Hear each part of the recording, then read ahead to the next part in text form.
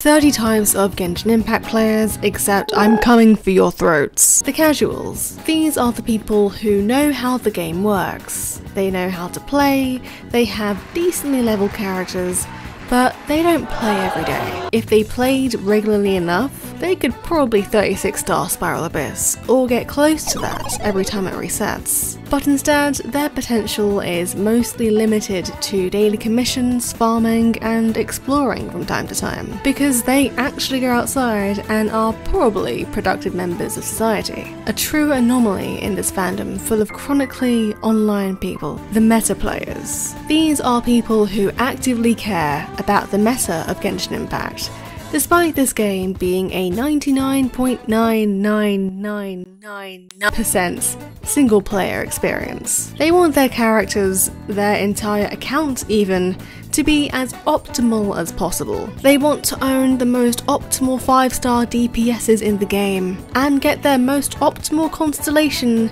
and their signature weapon from the weapon banner, despite the fact that it is possible to 36 star Abyss with teams of entire 4 stars and with zero signature weapons. But they don't say anything to anyone else, they really don't care if somebody else isn't a meta player. They just want to work on themselves and their accounts to be as meta as possible for themselves and themselves only. The meta players phase 2. These players, however, are way more extreme than just regular meta players. They probably aren't productive members of society and their rooms probably look a little something like this. They are meta players, but they believe everyone should be a meta player despite, again, this being a mostly single player game. These are the types of people who pop up on your TikToks or Twitter posts saying your rotations are so bad, or why isn't your Hu doing a million damage with her burst? They're also the type of people to say that 36 starring Spiral Abyss is easy, and then they go on 10 hour rants about not having any in-game content,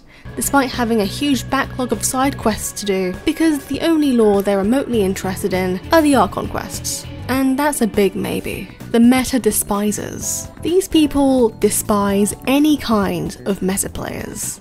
Even the word meta is enough to make their eyes twitch, be it out of a bad reputation that meta players have for being too toxic, or simply out of being salty because they have bad artifact luck. These players don't understand why some people always have to make things a competition, especially when Spiral Abyss and domains don't even have online competitive features to them like leaderboards. Actually thinking about that, that would be a pretty cool addition to add. Hoyoverse, take notes but I digress. These players wish that people could just be more chill and realise there's more to the game than just fighting. They preach let people play the way they want to play, while conveniently forgetting that there are players out there who want to be meta in Genshin Impact. The players who aren't meta but know how to build. These players are in between the meta despisers and the meta players. They don't particularly care for the meta, but they want to make their favourite characters strong. If they get too power hungry though,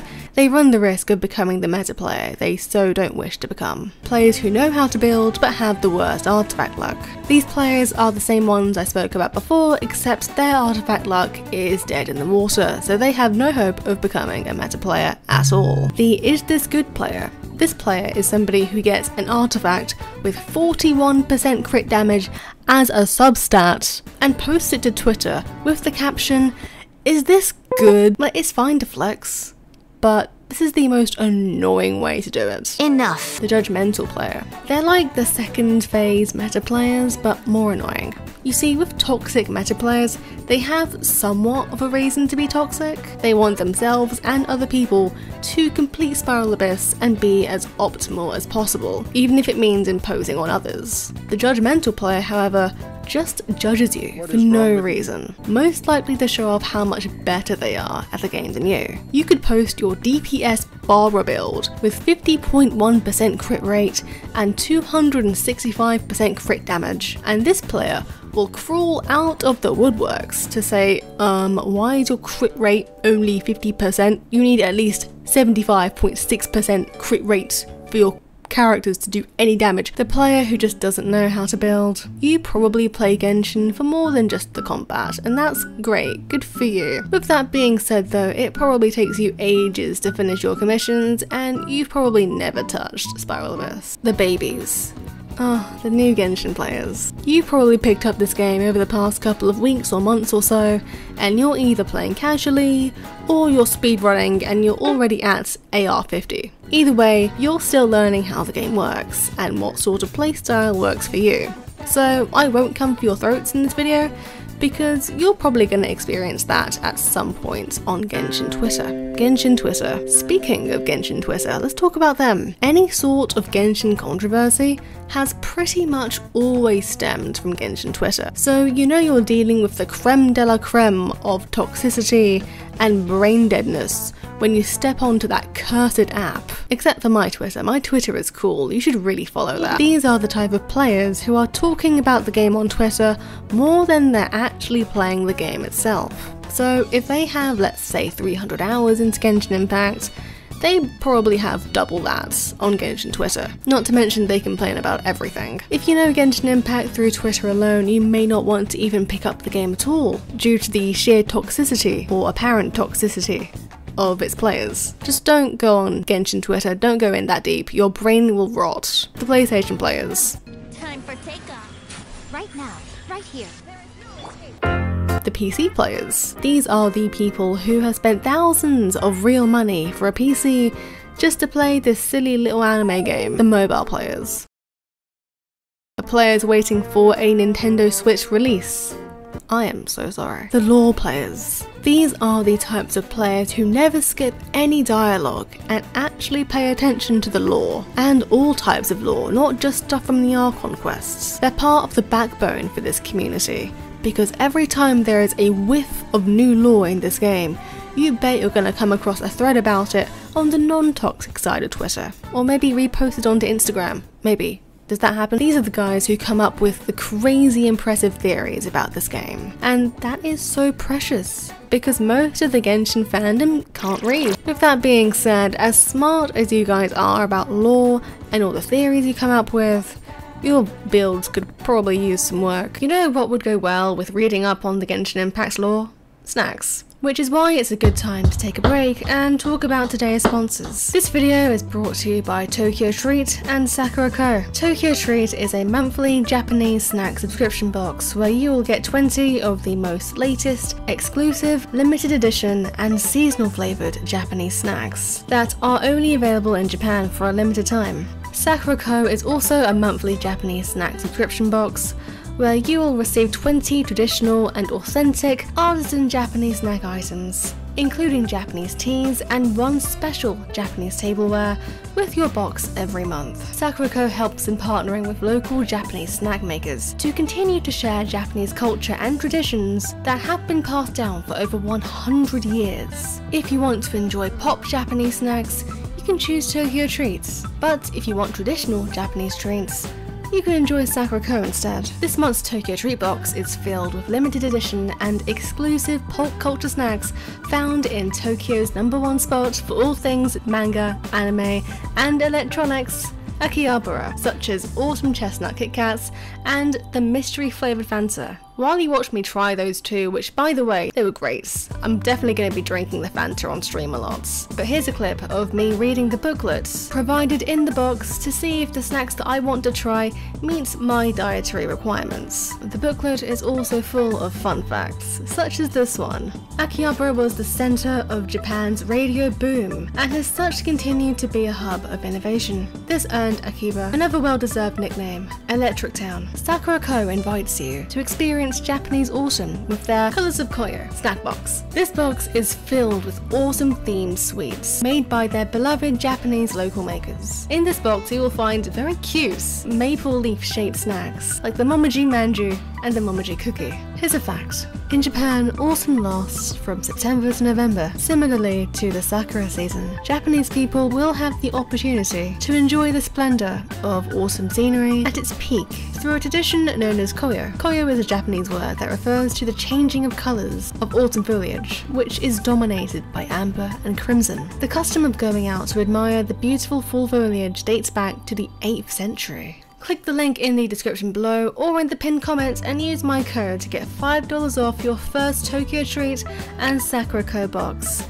Again, I would like to thank Tokyo Treats and Sakura Co for sponsoring today's video once again. Anyways, let's get back to these guys are the complete opposite of lore players. They aren't interested in any of the quests at all. All they're interested in is the gameplay, the battle, the grinds. They're not invested in the slightest about where our sibling is. In fact, they see quests as a chore, and wish all quests, including the Archon quests, were skippable. Just a hunch here, but these guys are probably the same people who can 100% a new region in less than 24 hours and complain that Genshin never has any content. The Gatekeepers. These people have a superiority complex when it comes to pixelated characters in a video game. They think they are so much better than everybody else who didn't pull on a character's first banner, and they look down on those who got said character on their rerun banner instead. Oh, you didn't pull for Yae Miko on her first banner, and now you're waiting on her rerun? Well, you're a fake Miko fan, and you don't deserve her. I'm so much better than you because I am an OG Yae Miko haver. I pulled her on day one. Even the people who pulled for her on her first banner and didn't get her on day one are inferior to me. That is probably the conversation you'd get out of one of these people. So you're better off staying away from them and leaving them alone in their echo chamber because they are too stubborn to listen to reason. The explorers. These people just want to walk around, explore the environments, and overall chill out. They're not hardcore character farmers, they wish casually, and they like the story. But they don't make the theories, they just consume them. In that sense, they're kind of a bit of everything. They use their time to fall in love with the scenery of this game, unlike in real life. People who refuse to do ascension quests. These people need to believe in themselves more. They think that they can't take on the enemies in the overworld if they do their Ascension quest. As somebody who did all of their Ascension quests ASAP, if you're at a point where you're putting off doing your Ascension quest for months, you're probably ready for that next level. Believe in yourself more. The free to plays. You're either a casual player, a student, or somebody who just doesn't spend money on video games. Whatever the case, you're probably the reason why my Saving Primogems video is the most successful video on my channel, so thank you for that. the braggy free-to-plays. You're like the guys from before, except you're the ones who give the free-to-plays a bad name. When people say the phrase, you don't need to ask a free-to-play if they're free-to-play, they think of you, because you guys will take every opportunity under the sun to say that you're free-to-play. I got Cyno and his signature weapon. Free to play by the way. I got Yanfei to hit 200k. Free to play by the way. I'm so much better than everybody else who spends money on Genshin Impact because I'm free to play. Stop. You're just as sad as the rest of us Genshin players. You're nothing that special. The whales. These are people who have the money to C6, R5, every character who comes out on their first banner, and yet are still able to function in real life. How do you have this much money? Sharing is caring, you know. The whales in denial. These are people who may not C6R5 characters and weapons, but they will do anything to at least get the character that they want. Their thought process goes a little something like this. Oh, I lost my 50-50. Well, I mean, I do have the means to use my wallet to get this character, even if I get them at hard pity. It's not like I do this for every character, plus I'm getting paid in about a week or so, so I'll be getting that money back soon anyway. Yeah, I, I guess that's fine. I'm not a whale though, like, I'm not even going for constellations, I, I, I just want this character players who farm for artifacts but forget to farm for talent and weapon materials. These players care a little too much about getting correct artifacts, so much so that they forget that their talents are equally as important as well as their weapon. They find artifact farming more fun than talent farming and weapon farming, even if the artifacts they get that day are absolute dog water they still got a kick out of it. To them, talent material farming and weapon material farming is boring, and they have to muster up the motivation to grind said domains. So if you see anyone with a character with cracked artifacts, but their talents are like at level 3 and their weapon is at like level 50? you know why. The Savers. These people are the ones who have beaten the Genshin Impact's gambling addiction. There is a character that they want so badly that they have gone through the pain barrier of learning not to wish whenever they hit 160 primos, then not wishing at 1600 primos, then not wishing at 5000 primos. After that point, they've become so numb to the temptation of wishing that they no longer know what a wishing addiction even looks like. What I'm trying to say is that they enjoy inflicting pain onto themselves for the greater good. For this reason, they probably think they're an anime protagonist. The Wish Addicts. Wishing Addicts are either new players trying to build up their character collection, or they're a higher AR and they genuinely have a problem. Once they get even the smallest whiff that they're at 160 primos, they're gonna wish, regardless of the banner. They'll even wish on the standard banner. Somebody needs to stage an intervention for these guys and never take them to an actual casino or an arcade for that matter. The wish addicts in denial. These are typically the people who blame limited 5 stars for ruining their pity for somebody that they were trying to save up for. They'll say something along the lines of, I hate the Raiden Shogun. She made me lose my pity for Hu Tao. Translation I've been saving for Hu Tao's banner, and I've been getting really impatient. I just want to wish. So I wished on the Raiden Shogun's banner so I could try and build up my pity and relieve my wishing temptation for a little while. I was fully aware that pulling on the Shogun's banner would ruin what I've been working so hard for over the past few weeks and months, but I've ignored that risk. And now, I'm probably not going to get Hu Tao until Halloween 2023. I'm not going to hold myself accountable for this, so I'm just going to blame the fictional character instead. The Teapotters. These people are not interested in the idea of farming. They don't like fighting in domains, it's too much effort for them. Instead, they like to dedicate their time to decorating their teapots. They like to collect realm currency every day for the sole purpose of decoration. And these players actually get excited about finding furniture chests. They thrive off of making their teapot look as best as it can. And they probably have fully built teapots teapots